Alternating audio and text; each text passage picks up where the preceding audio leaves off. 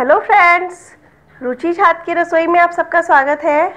Friends आज हम लोग बनाने जा रहे हैं एक बहुत ही अलग तरीके की, बहुत ही स्वादिष्ट चटपटी और क्रिस्पी कचौड़ी, सूजी की स्टफ़ कचौड़ी।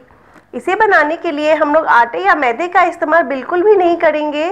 सिर्फ़ सूजी से हम लोग यह स्वादिष्ट स्टफ़ कचौड़ी बनाकर तैयार करेंगे।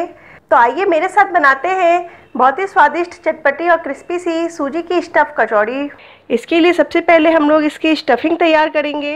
स्टफिंग बनाने के लिए ये 250 ग्राम के लगभग उबले और मसले हुए आलू लिए हैं। तो इससे हम लोग सूजी की बहुत ही चटपटी सी स्टफिंग तैयार करेंगे। तो स्टफिंग के लिए सबसे पहले यहाँ एक पैन को गैस पर चढ़ाएँगे। पैन में डाल देंगे थोड़ा सा सरसों तेल। आप अपने पसंद का कोई भी तेल ले सकते हैं। तो इसमें ये आधा टेबल स्पून के लगभग तेल डालेंगे। तेल बहुत ज़्यादा नहीं लगेगा।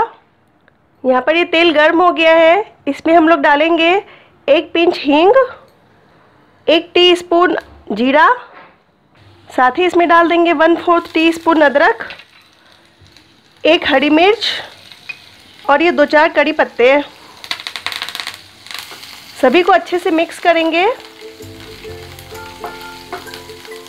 तो यहाँ पे ये जीरा चटक गया है। इसमें डालेंगे एक टेबल स्पून के लगभग मटर। तो यहाँ पर मैंने ये फ्रोजन मटर का इस्तेमाल किया है। आपके पास फ्रेश मटर हो तो आप उसे डालें। एक मिनट के लिए इसे भून लेंगे। मटर को भूनते हुए लगभग एक मिनट हो गया है। अब हम इसमें डालेंगे ये उबले और मसले हुए आलू।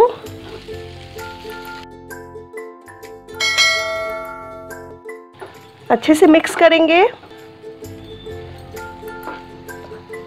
अब हम इसमें डालेंगे टेस्ट के अकॉर्डिंग नमक, लाल मिर्च पाउडर एक टीस्पून गरम मसाला पाउडर और हाफ़ टी स्पून आमचूर पाउडर हाफ़ टी स्पून हल्दी पाउडर सभी को अच्छे से मिक्स कर लेंगे। यहाँ पे मसाले अच्छे से मिक्स हो गए हैं।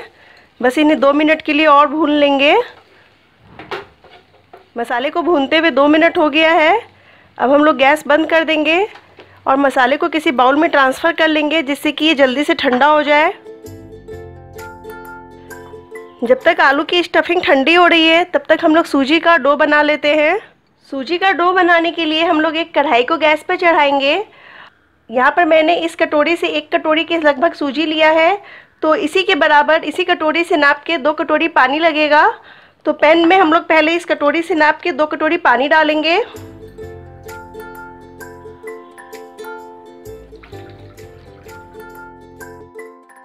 पानी को अच्छे से गर्म होने देंगे। हमें पानी में एक उबाल लाना है। तो पानी जल्दी से उबल जाए, इसके लिए इसे ढक देंगे। यहाँ पर ये पानी अच्छे से उबल गया है।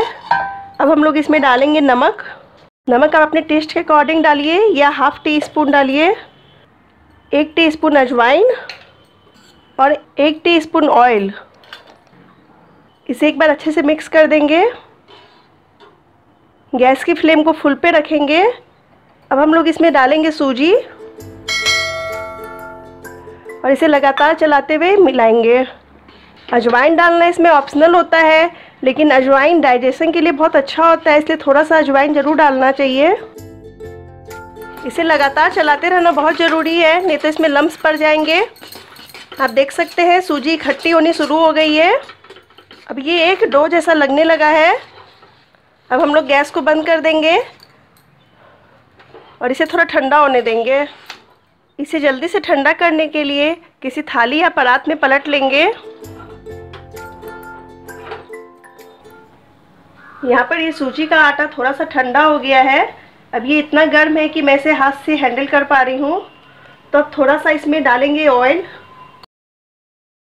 और थोड़ा सा ऑयल अपने हाथों पे लगा लेंगे। उसके बाद इसे अच्छे से मसलेंगे और चिकना कर लेंगे। इस तरीके से इसे मसल मसल के चिकना कर लेंगे कि अगर बीच में कोई गांठ रह जाए या कोई गुठली रह जाए, वो भी अच्छे से मिक्स हो जाए। यहाँ पर इस डो को मैंने अच्छे से मसल मसल कर चिकना कर लिया है और इसका एक बहुत बढ़िया डो बनकर तैयार हो गया है। लग रहा है ना, बिल्कुल आटे और मैदे के जैसा डो? अब हम लोग इसके लोई बनाएँगे। तो आप अपने पसंद के अकॉर्डिंग साइज़ लें, छोटा, बड़ा, जैसा चाहिए। यहाँ मैंने एक कचौड़ी के साइज़ की लोई ली है। इसे ऐसे रोल करेंगे, फिर फैलाएँगे थोड़ा सा हाथों से थोड़ा सा कटोरी की तरह सेप देंगे। अब हम लोग इसके अंदर डालेंगे जो स्टफिंग हमने बना के रखी थी।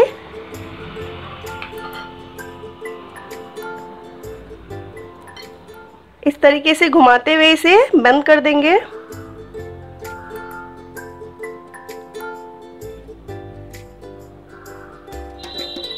ऊपर से जो एक्स्ट्रा सूजी होगी वो निकाल देंगे। और बहुत अच्छे से ऐसे सील पैक कर देंगे।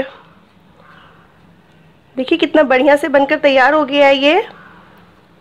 अब आप चाहे तो इसे हाथों से ऐसे थोड़ा चपटा कर ले और चाहे तो बेलन से इसे थोड़ा सा बेल ले। तो मैं इसे हाथों से ही ऐसे थोड़ा थोड़ा चपटा कर ले रही हूँ। इसी तरीके से हम सभी कचौड़ियाँ भरकर तैयार कर लेंगे। कचौड़ियाँ तलने के लिए कढ़ाई को गैस पर चढ़ाएँगे और इसमें वेजिटेबल ऑयल डालेंगे। ऑयल को अच्छे से गर्म होने देंगे। यहाँ पर ये ऑयल अच्छे से गर्म हो गया है। इसमें मैं एक छोटी सी गोली डाल के देखेंगे।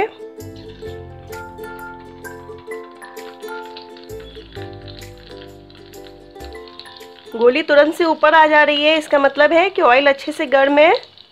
तो इसे बाहर निकाल लेते हैं और इसमें कचौड़ियाँ डालते हैं।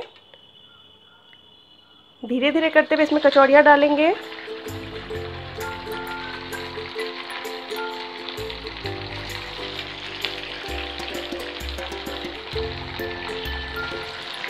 एक बार में कढ़ाई में बहुत ज़्यादा कचौड़ियाँ नहीं डालेंगे। तीन से चार कचौड़ी ही एक बार में डालेंगे। अब हम इसे तेज़ आँच पर ही एक बार सीखने देंगे।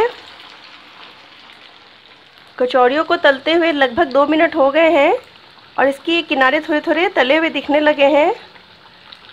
आप देख सकते हैं कि कचौड़ियाँ फूल भी गई हैं। अब हम लोग इन्हें सावधानी पूर्वक पलट देंगे। इस तरीके से फ्रेंड्स, सूजी की कचौड़ी तलने में बहुत ही कम ऑयल एब्जॉर्ब करती है। बस आपको ध्यान रखना होता है कि ऑयल को बराबर हीट मिलती रहे। ऑयल हमेशा अच्छे से गर्म रहे और इसे तलने का काम हमें एकदम फुल फ्लेम पे ही करना है। दूसरी साइड से भी कचौड़ियों को तलते हुए लगभग दो मिनट हो गया है। इसे पलट लें। आप देख सकते कितनी बढ़िया कचौड़ियाँ फूली हैं। इसे देख के कौन कहेगा कि ये सूजी से बनी है। इसमें ना आटे का इस्तेमाल हुआ है, ना मैदे का, ना ही किसी प्रकार के सोडे का। फ्रेंड्स, यहाँ पर ये कचौड़ियाँ बहुत ही अच्छी क्रिस्पी ब्राउन कलर की तल गई है। देख सकते हैं आप कितना सुंदर कलर आया है इसका। ये दूसरे साइड से भी आप देख सकते हैं, कितनी बढ़िया लग रही हैं। तो अब हम इन कचौड़ियों को बाहर निकाल लेंगे। इसी तरीके से हम बाकी के बची हुई सभी कचौड़ियाँ तलकर तैयार कर लेंगे। गरम गरम कचौड़ी को आप अपने पसंद की चटनी या सॉस के साथ सर्व करें। चाहे तो आलू की सब्ज़ी बना लें उसके साथ भी ये कचौड़ियाँ बहुत ही ज़्यादा स्वादिष्ट लगती हैं। फ्रेंड्स, कचौड़ियाँ अंदर से कितनी अच्छी बनी है, इसके लिए मैं आपको एक कचौड़ी तोड़ के दिखाती हूँ। और देखिए, बिल्कुल अंदर से इसकी स्टफिंग कितनी अच्छी दिख रही है। एक बार ये कचौड़ी बनाकर ज़रूर ट्राई करें, आप बार बार बनाएँगे। तो फ्रेंड्स ये थी मेरी आज की चटपटी सी बहुत ही मज़ेदार रेसिपी जिसे बनाना है बहुत आसान और खाने में है बहुत ही स्वादिष्ट। आप लोगों को मेरी रेसिपी कैसी लगी कमेंट करके अवश्य बताएँ। अगर मेरी रेसिपी पसंद आई हो तो मेरे चैनल को भी ज़रूर से सब्सक्राइब करें। ज़्यादा से ज़्यादा लाइक कमेंट और शेयर भी करें। तो मिलते हैं नेक्स्ट वीडियो में एक नई रेसिपी के साथ। तब तक के लिए बाय बाय